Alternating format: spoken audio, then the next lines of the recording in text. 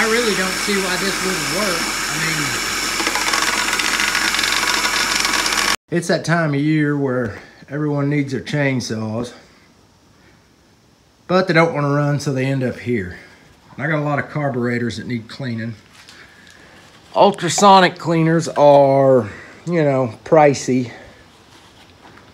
This was six bucks, so I tried to make my own here.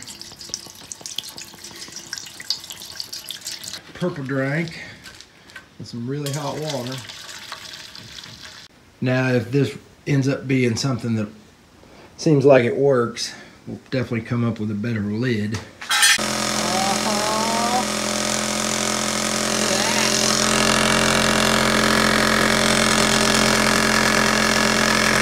at least it's not leaking directly into the electric motor because that would be unsafe.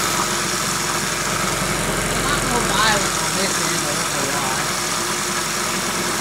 Lid here.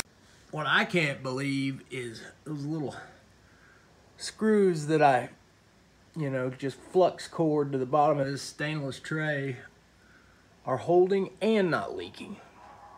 And I burned through a couple times. All right, actually found a proper lid for these things. Hopefully it'll hold the crap in there or else I'll have to cut a gasket for this. We'll see how it does.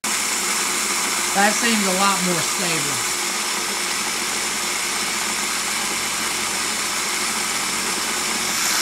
Keep shaking now.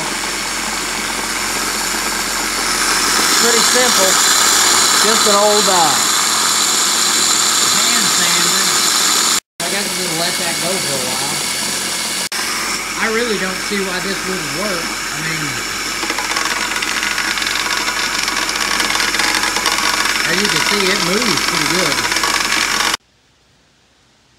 I don't know. It seems clear. But here's a real test.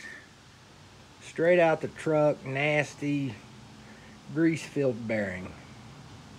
Dog hair and shit from the floor and everything. Let's see what it can do with that. Moment of truth. It's been in there about ah, 10 minutes. Wow. That's actually that's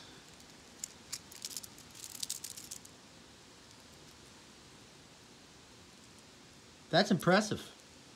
I mean, considering it wouldn't really run at all.